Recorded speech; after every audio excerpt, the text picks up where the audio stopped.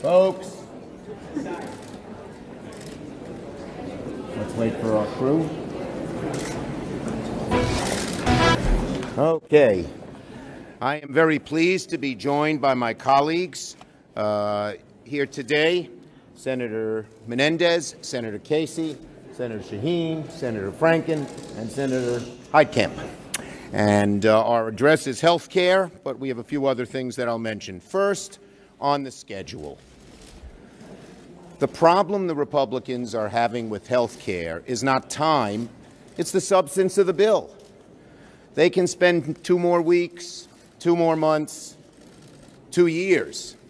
As long as this bill continues to cut taxes on the very wealthy and hurt working Americans, the bill's going to be as unpopular as it is today. They've had six months on this bill since January 4th. They haven't been able to make any progress.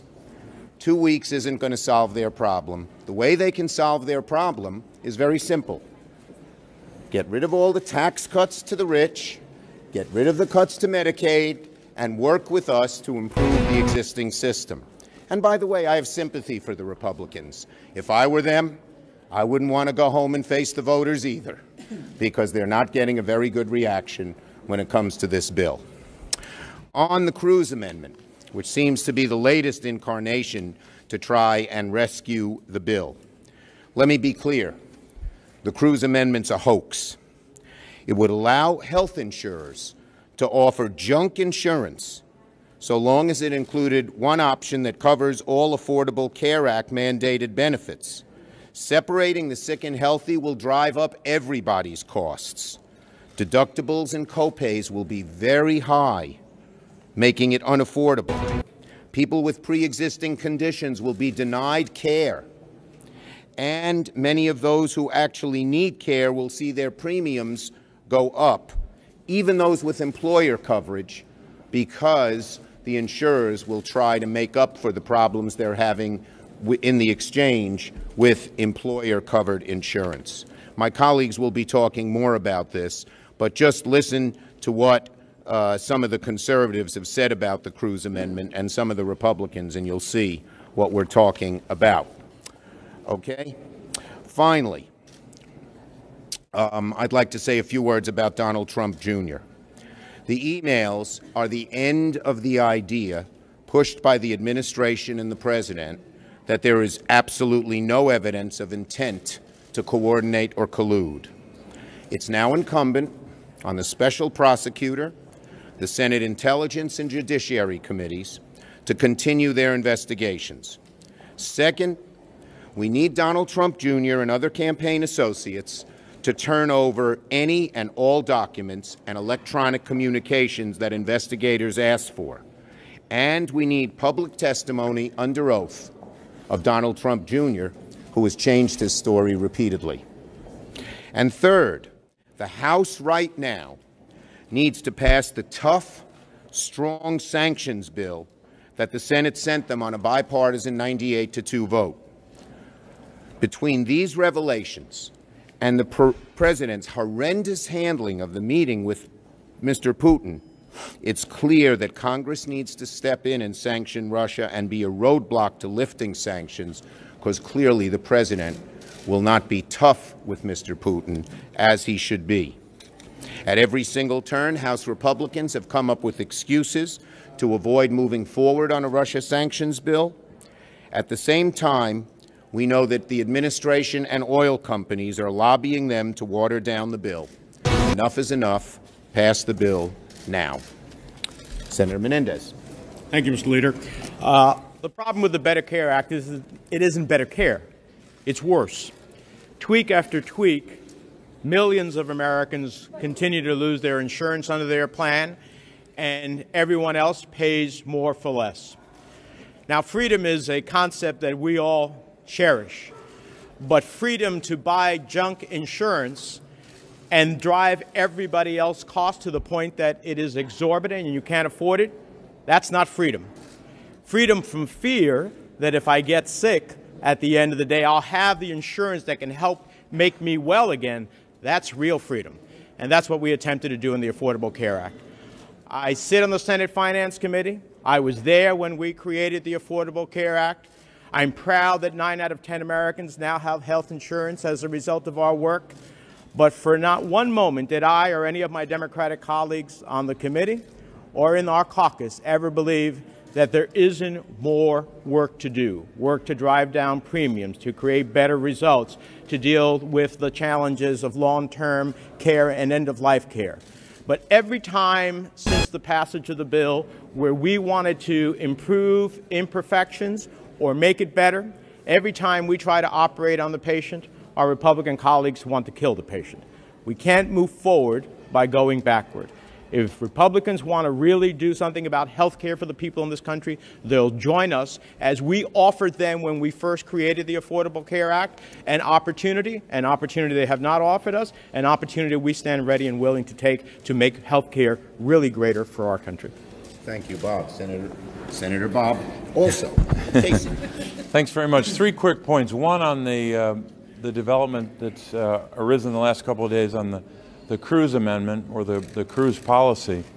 Look, I think it's very simple to explain it. It's an, it's an extreme uh, step in an already far too extreme bill. And if you are, if all you care about, about 150 million plus Americans with employer sponsored coverage, if all you care about is that coverage, you better pay very close attention to the uh, attempt by Republicans to take away protections that you've had.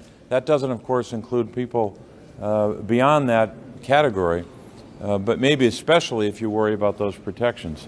Secondly, when I was home, um, I visited 10 counties.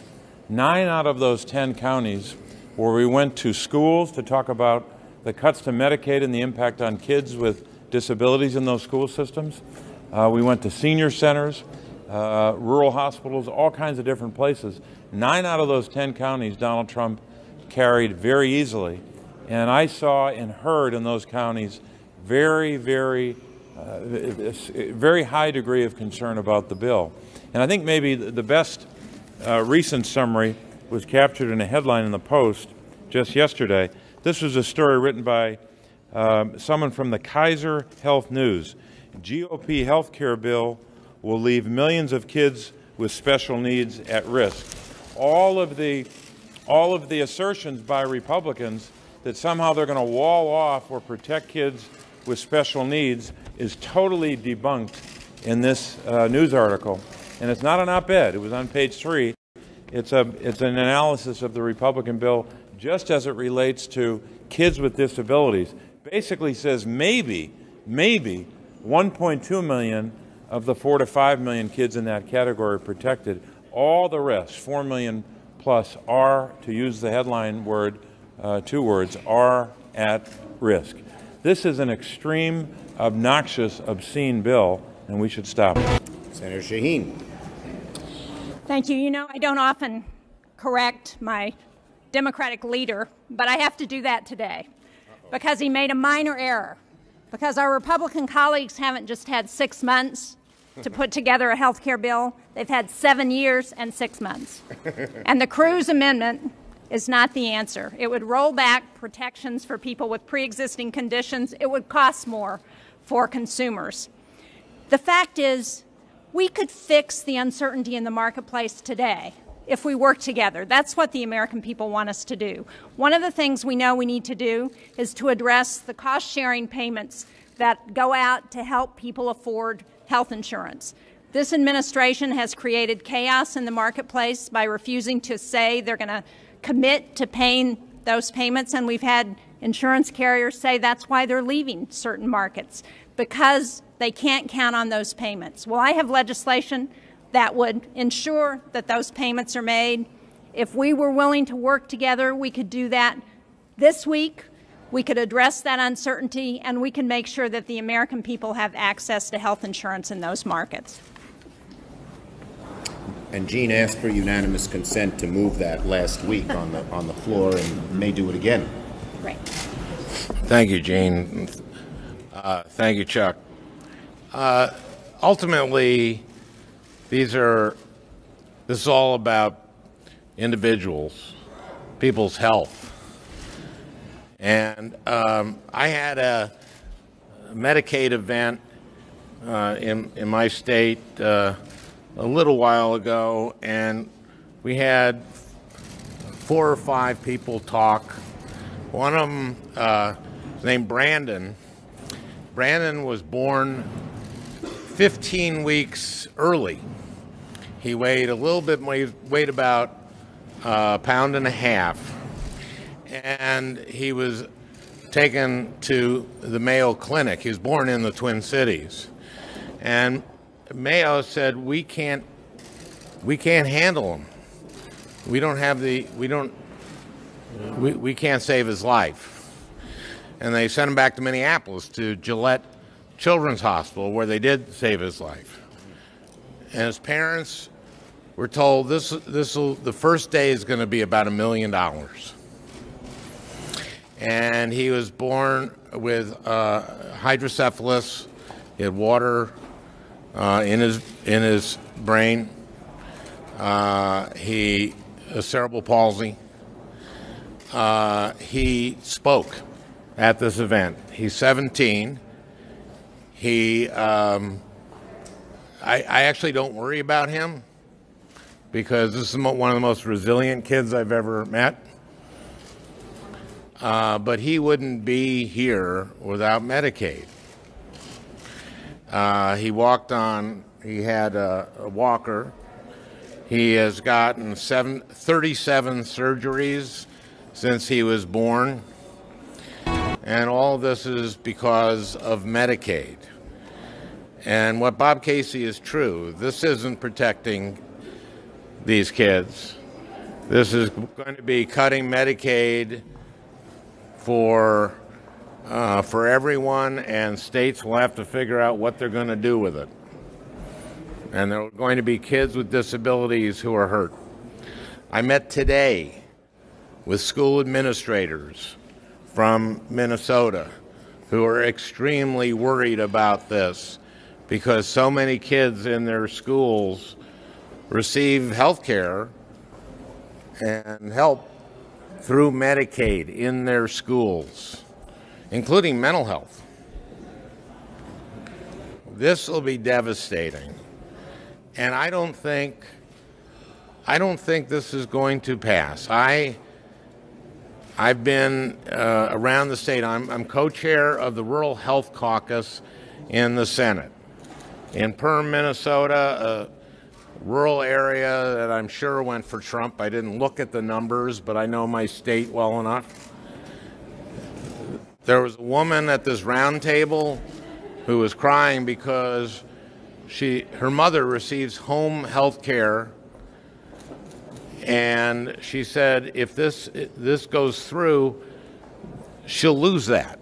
That that's through Medicaid, and both my husband and I work, and we don't know what we're going to do with my mom.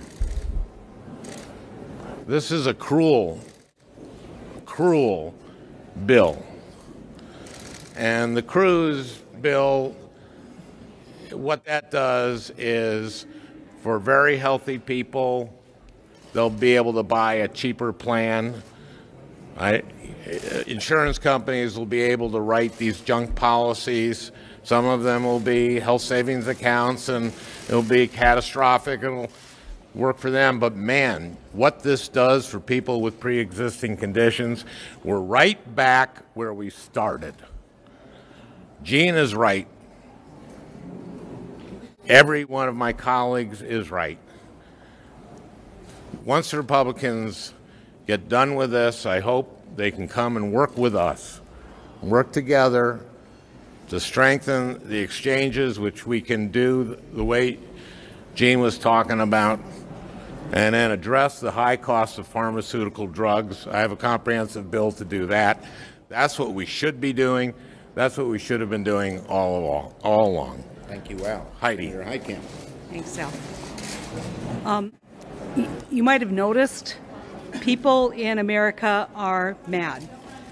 And I'll tell you why they're mad. They're mad because they're scared.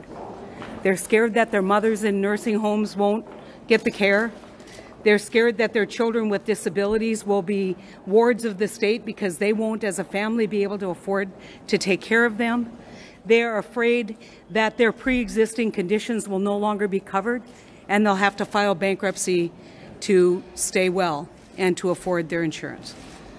They're afraid that we're going back and that we're going backwards. And when people are afraid, they're angry, um, it is absolutely essential that we respond with leadership, that we respond the, like the adults we're supposed to be in Washington, D.C.